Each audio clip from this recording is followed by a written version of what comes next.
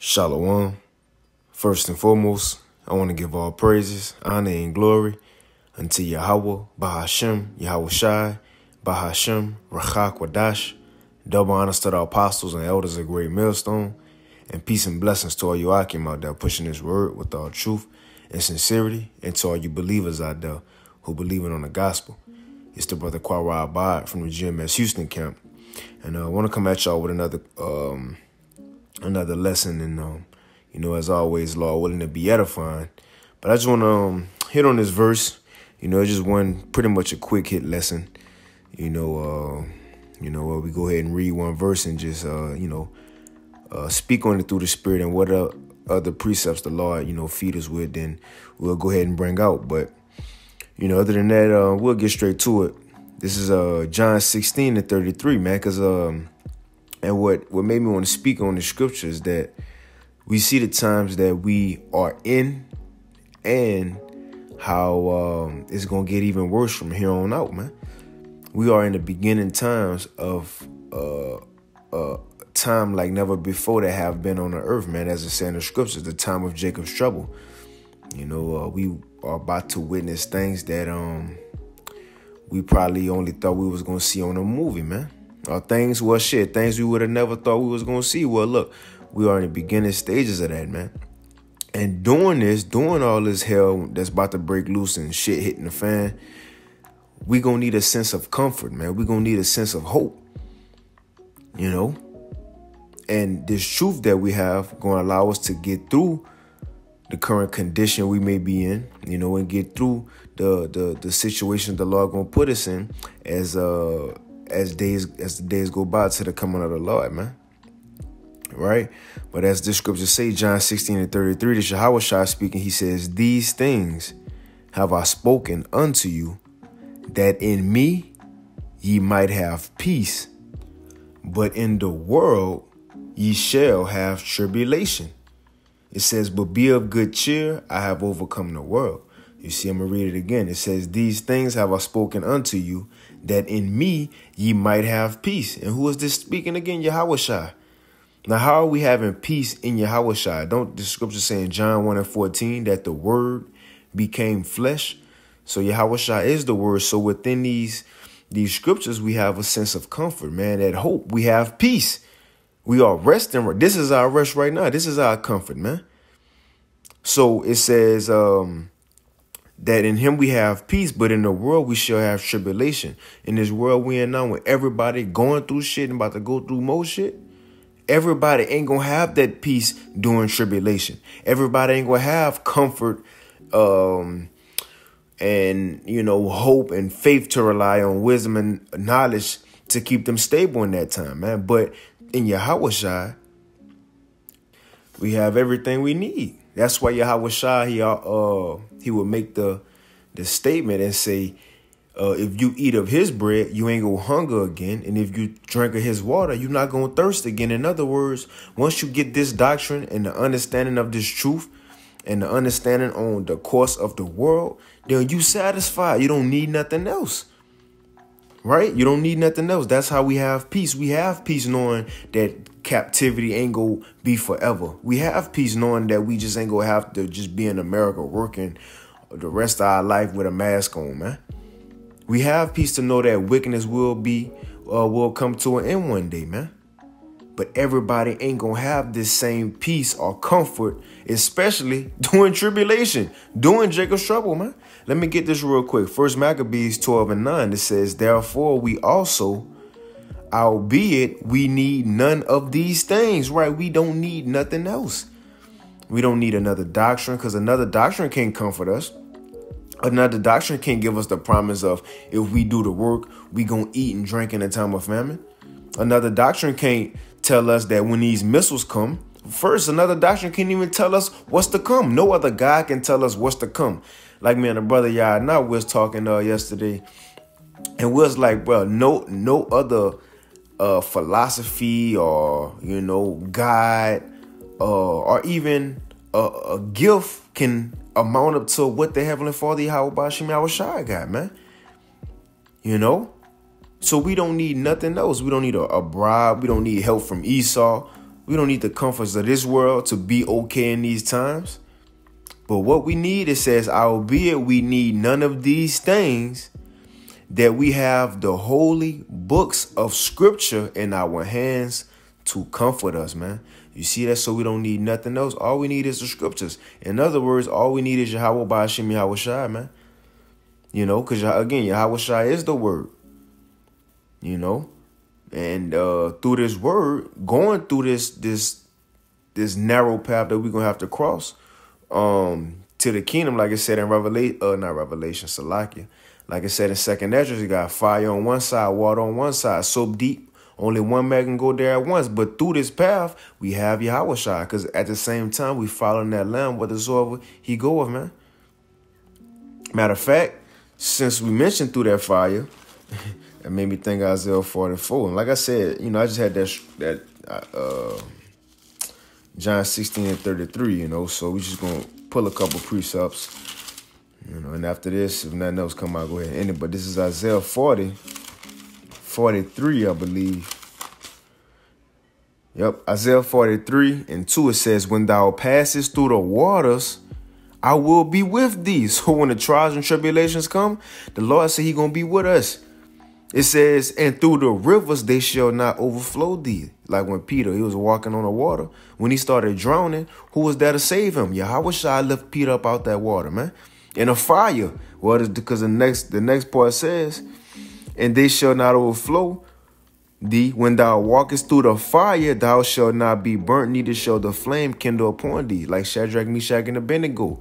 Why didn't they get burnt? Because it said uh, in Daniel that the spirit of the Son of God was in that man. Yahawashi was in that. So guess what? The same thing for us.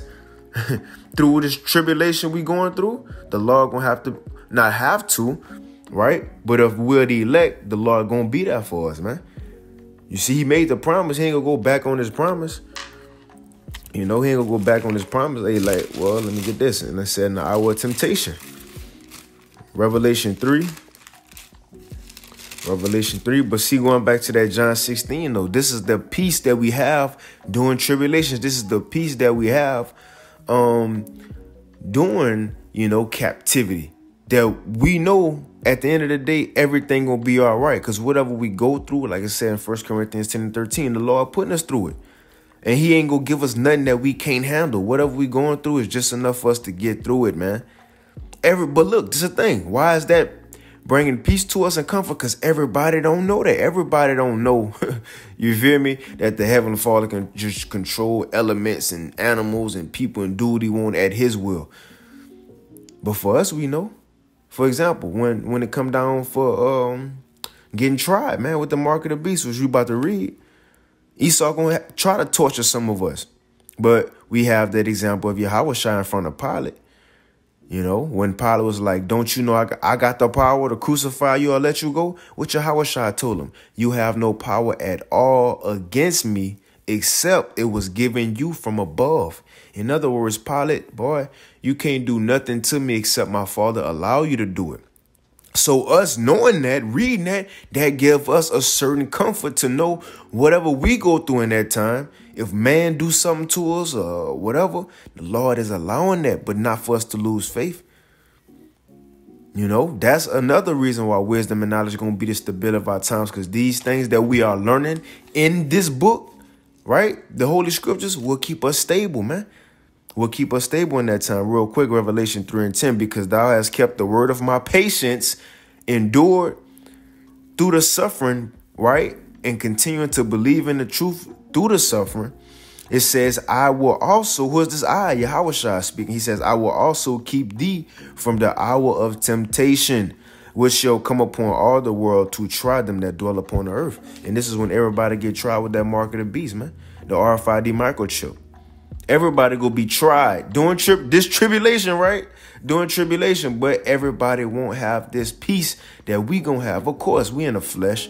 We might be scared, you know, or you know, breathing hard, crying, whatever. But ultimately, we know even unto death, if we was to die, the scriptures say, "Fight for the truth unto death," and the, strive for the truth unto death, and the Lord shall fight for thee. We know if we come down to death, the Lord could either have us be tortured or go through whatever we have to go through and not feel it. Shadrach, Meshach, and Abednego ain't feel a fire. Daniel ain't get bit by no lions. You see, in a lion's den. Right? Or even if we do have to die, we know our work is gonna follow and we gonna be some of the first ones raised up on a chariot. But all in all, man, knowing what we in now, the times we in and what we coming in, we have a comfort that these other people don't have, man. We have a help and a spirit from Yahweh Bashim Awashai that these other people don't have. And the water Yahweh Bashim Awashai for that, man. Barakatah Yahweh Bashim Awashai for that, man. You see? But let me get uh, some real quick. Yahawashi said. This is um, Matthew 28 and 20. It's Yahawashi speaking. It says, Teaching them to observe all things whatsoever I have commanded you. It's the point. And lo, I am with you always, even unto the end of the world. And to the end of who world? Esau. Well, look, Esau still ruling. Esau still ruling. So Yahweh gotta be with us right now while Esau rule, man. And when Esau finish ruling, Yahweh gonna be here because Yahweh gonna put it into Esau rulership. And then we gonna forever be with the law from that point on, man. So while we still here in the world, Yahweh is helping us out. Like I said in John 17. I don't pray that you take let's get that. Let's get that. This is John 17. This is again. Cause we ain't just you know, chilling while everybody gonna have to be going through shit. We ain't just gonna be chilling. No, we gonna be in the midst of it too, but it's a difference. Right? The, the servants of the Lord will have a hedge around them. Let's get that. John 17. Yahweh says in 15, I pray not that thou shouldest take them out of the world. Right? Don't just make it easy for them and just take them out the world. Because he said himself, the servant ain't greater than master right? They persecuted the master, they got to persecute the servant. So we can't take the easy route out, you know, and go around tribulation. No. So the Lord says, I pray not that thou shouldest take them out of the world. It says, but that thou shouldest keep them from the evil, man. You know, so we still here in the world amongst the evil, amongst the the wicked, and we gonna be around people who gonna be judged. So we're gonna be seeing and hearing these things and running right along with everybody else. But the point is, the law gonna have that hedge around us the whole time. Other people ain't gonna have a hedge. You know, they ain't gonna have um in the family, they got a, a, thought in their mind, well, you looking up ready for ravens to come feed you. They ain't gonna have that ideal thought that that's even possible. But we will. Why? Romans 15 and 4, the things that was written aforetime was written for our learning that we, through patience and comfort of the scriptures, might have hope of the scriptures, man.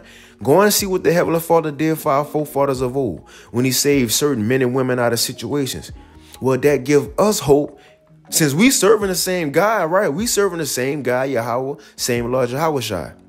So when we get in a situation, looking back on what the Lord did for our forefathers and foremothers of old, that gives us hope in these times that this same God gonna do the same thing for us or even greater.